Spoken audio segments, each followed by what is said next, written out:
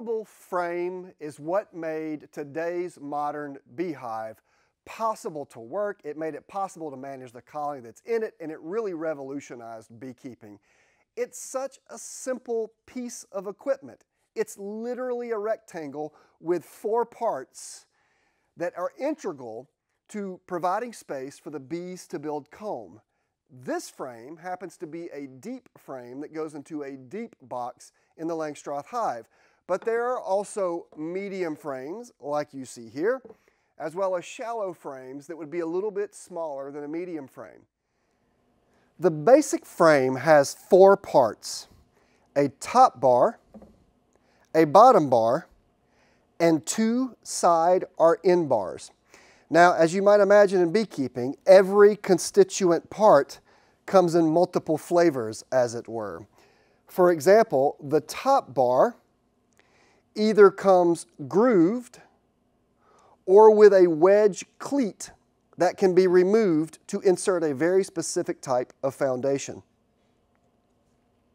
The bottom bar is similar in that it can have a groove or it can be split all the way through.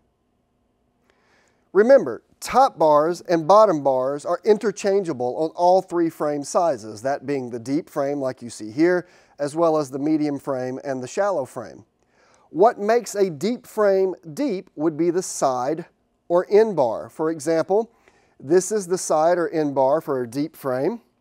This is one for a medium frame.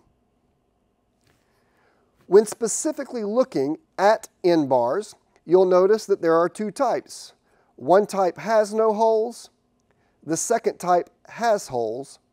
These holes are used when you are inserting a very specific type of foundation into this frame. Now that you know the four constituent parts of the frame, let's put one together. Here I have the four constituent parts of a deep frame. In this particular case, I have a grooved top bar, a grooved bottom bar, and two end bars or side bars. And I want to point out a few key characteristics that are useful to know. Firstly, the sidebar of a frame tapers from top to bottom. It is wider at the top than it is at the bottom. You'll notice the end bar also has a notch cut at the top and a notch cut at the bottom. The notch at the top accommodates the top bar. The notch at the bottom accommodates the bottom bar. In particular case of the frame, the groove of the top bar faces down while the groove from the bottom bar faces up. So the two grooves face one another. That way, when you put your frame together, the grooves in the top and bottom bar are aligned to receive foundation that you put into the frame. Before you can assemble this frame though, you need some very important pieces. Let's take a look at those. Here are the supplies and materials that you'll need to be able to assemble a frame. Of course, you need the top bar, the bottom bar, and the two end bars. You also need a hammer of some sort. I much prefer the tack hammer because the head of the tack hammer is squared and allows you to reach various corners of the frame and assembly as I'll show you later. You need nails. These nails are about an inch and a half long, whereas these nails are about three quarters of an inch long. You need some wood glue, which I like to pour in a really small cap and use a paintbrush to administer. And of course, anytime you are doing anything in a shop that requires assembly of any component of a honeybee colony, you need to wear proper protective equipment or personal protection equipment, also known as PPE, and here, in this case, it would be safety goggles. In the first step, I grab the two end bars or side bars, I stand them up, and I use a small paintbrush to put wood glue on the tops in the cut of the sidebar, like what I'm doing here. Wood glue is very important for the structural integrity of the frame when you're pulling it out of the hive using your hive tool, you don't want the frame to come apart and wood glue helps overcome that issue. Now that you have the top groove painted with wood glue, you can take the top bar and put it groove side down over the notch cut into it to accommodate the end bar. So I did that here. Now I will repeat that step on the other end of the top bar. Next, I will flip the frame and you'll notice the bottom part of the end bar also has that cut groove made to accommodate the bottom bar.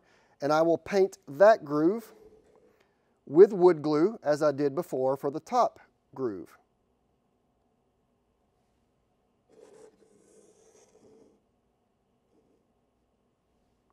It's okay if you put on too much wood glue. It will dry and be completely innocuous to bees. With that done, I will take my bottom bar, turn the groove in it to face the groove in the top bar, and then I will put both ends into the end bars like what you see here. At this point, I like to drive the first nails into the top of the frame. And I'm going to put two nails, one here and one here.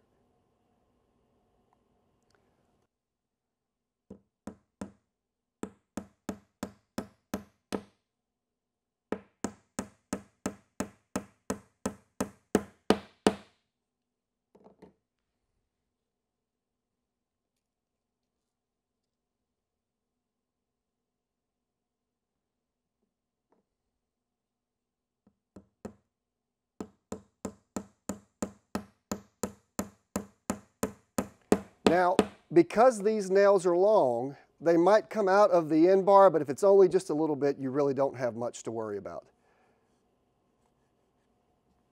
Then I flip the frame.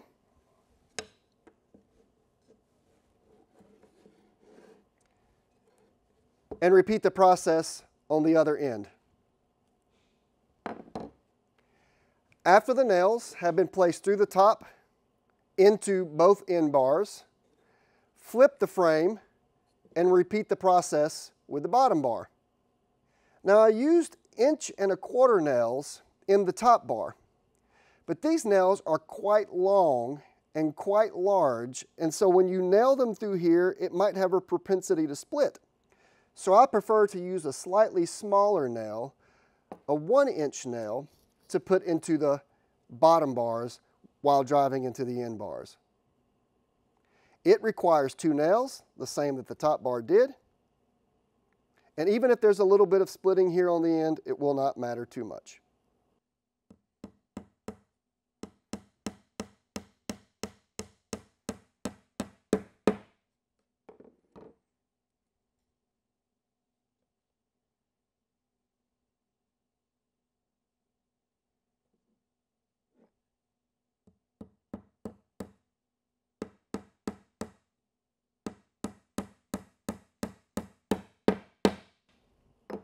After doing one end of the frame, I flip it around and repeat the process on the other side.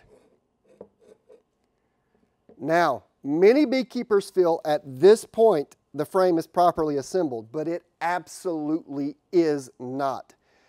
When you put a frame into a beehive, imagine this is a cross-section view of a hive, bees will glue the frame to the lip of the box, sometimes to the bottom of the box using propolis when you are using your hive tool, you are basically pulling the frame this way out of the nest. So if the end bars or the bottom bar are glued to the wall of the box and you pull too hard this way, it is really easy to pop out the top bar or pop out the bottom bar from the two end bars. And if you think about it, the nails are running down this way and up this way, so they do nothing to stop the pressure of the frame being pulled in both directions. So what I like to do at this point is insert what I call the magic nail.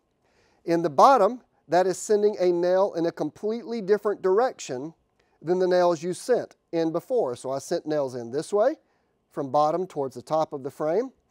Now I'm going to use a slightly smaller nail, this one being 3 quarters of an inch, and I am just going to drive it through the end bar into the bottom bar of the frame, but from the side.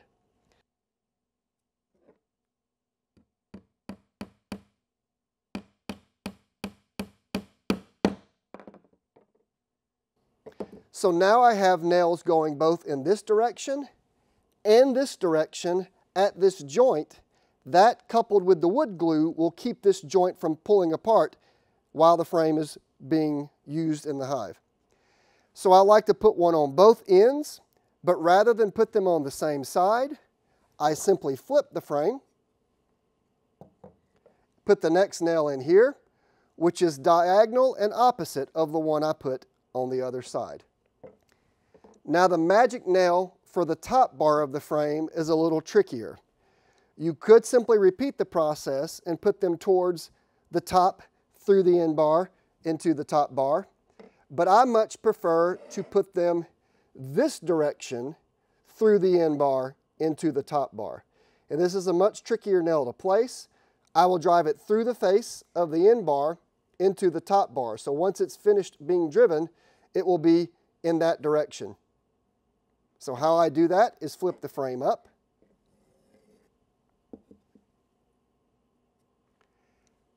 Angle the nail.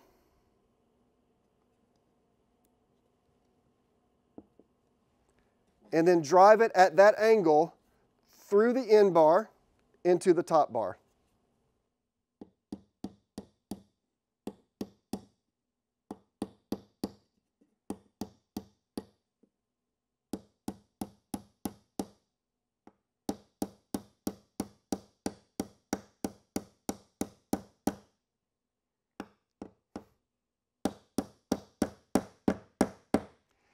Now, I'll remind you that the top bar has a groove cut all the way through it. So you really need to put the nail outside of that groove. If you put it into the middle of this frame, it's going to go into the groove and not really hold the top bar to the end bar at all. So then I will flip the frame and repeat the procedure on this end.